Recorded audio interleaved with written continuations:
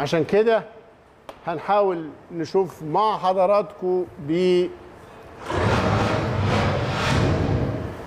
بعضمة لسانه يغيب الأداء ولا تغيب الشخصية. ده كلام مهم جدا. الأهلي في مباراته الأخيرة في السودان غاب الأداء القوي الأداء الممتع الأداء اللائق بكرة القدم الأهلوية في معظم فترات المباراة لكن لم تغب شخصية الأهلي. بالذات في الأوقات الأخيرة عندك تعليق؟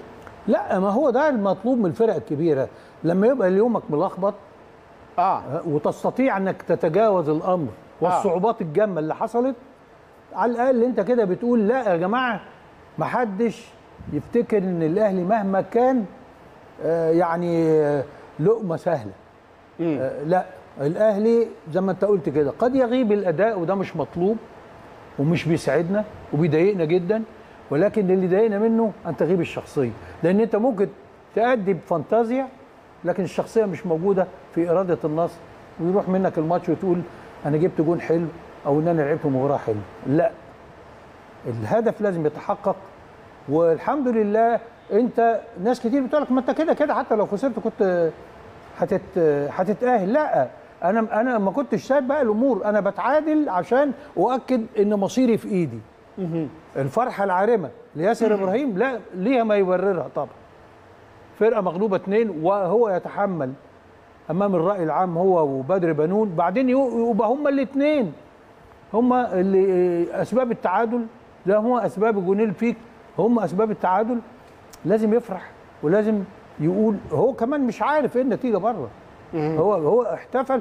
كده إحنا الحمد لله ضمنا أو كده تعادلنا ما خسرناش. هي دي الفرحة العالمة دي, دي شخصية الأهلي. هو مش فرحان وهو في موقف اليائس خرج من البطولة وفرحان. فالناس تقول لك هو فرحان ليه؟ تعرف لو هو خرج من البطولة وفرحان كنت هزعل جدا. إنما لا ده هو خرج وهو متأهل. أنت رايح عشان تتأهل. السنة اللي فاتت قدام الهلال رايح عشان تتأهل. بتحقق الهدف. الماتش مش حلو للأسف الشديد طب ليه الماتش مش حلو؟ مين المسؤول على إنه الماتش مش حلو؟ نشوف رأي الكابتن وائل جمعة تعادل يحفظ كرامة ال- الأهلي واللي إحنا عايزينه من المباراة كنا عايزين نتصدر المجموعة فوزنا يخلينا في ال- قريبين من فريق آه، سيمبا ولسه فريق سيمبا جاي ال- القاهرة تقدر تفوز عليه آه، تتصدر المجموعة. إنما أنت بتدخل نفسك في حسابات آه، غريبة جدا. استغل النادي الأهلي التراجع البدني الكبير اللي حصل للشوط الثاني من فريق المريخ والتغييرات اللي نزلت زودت شوية القدرات الهجومية. طيب. آه، مبروك ال- التأهل آه، وننتظر الأفضل إن شاء الله في قادم المباريات. شوف هذا الهدف كابتن وائل أنت تحدثت عنه باستفاضة. البداية من عند مرمى فريق المريخ.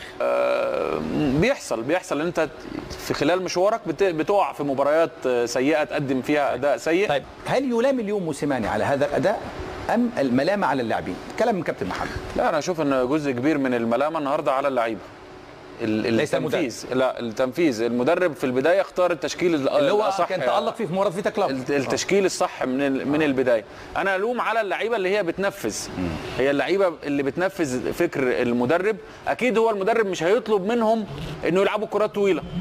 مش هيطلب منهم أكيد عارف إن الملعب سيء واتمرن على الملعب وعلى أرض الملعب.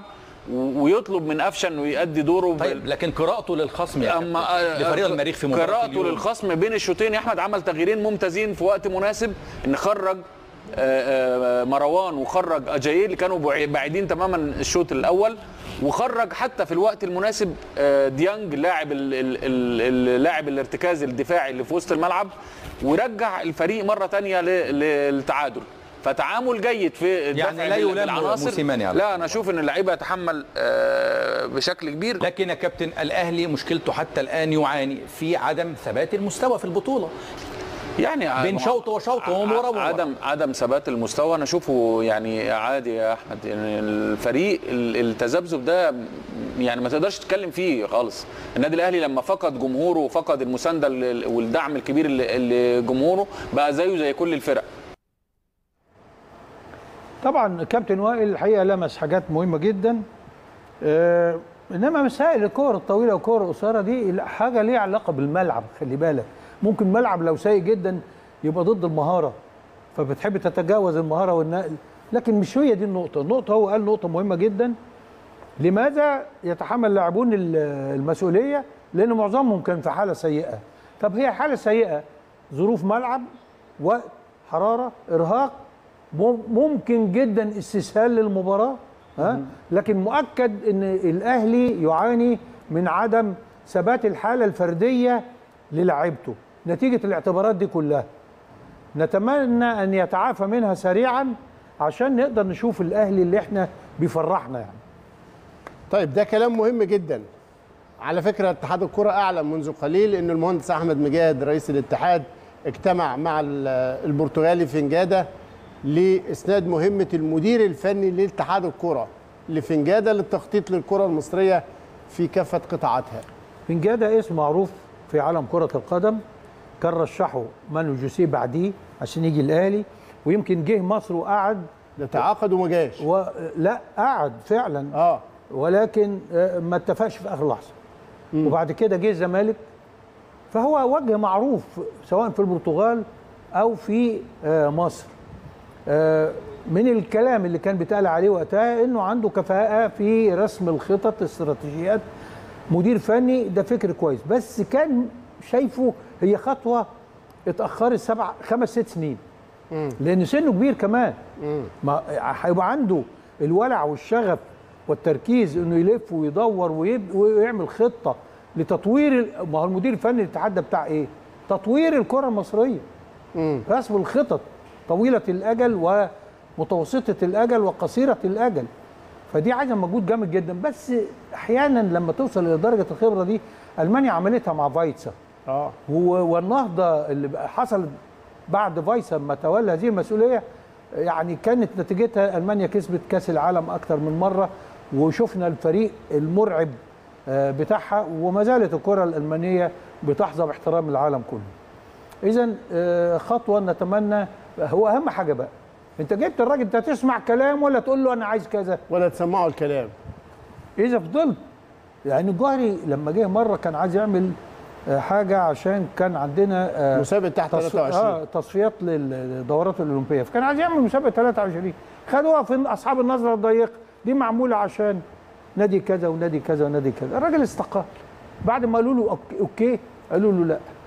إن كنت جايب مدير فني أرجو أي مدير فني يجي يشترط إنه رأيه ما يبقاش استشاري استشاري. رأيه؟ ينفذ أفكاره. آه ينفذ أفكاره. بس في الحالة دي نقدر نحكم عليه. نتمنى. طيب كلام الكابتن وائل جمعة واللي حتى الزميل أحمد فؤاد بيلح عليه وأنا بلاحظه حتى لما الأداء بيبقى كويس. قبل ما يتكلم كلمة اشاده بأداء الاهلي النهارده هو ليه الاهلي اداؤه متذبذب؟ هو ليه الاهلي النهارده كويس مع إنه قبل كده كان وحش؟ وباستمرار الناس واقفة عند فكرة تذبذب الأداء ليه؟ كابتن طارق العشري حاول يجاوب عن أسباب هذا التفاوت في أداء الأهلي. نشوف. إيه سبب التفاوت في مستوى النادي الأهلي هذا الموسم من وجهة نظرك؟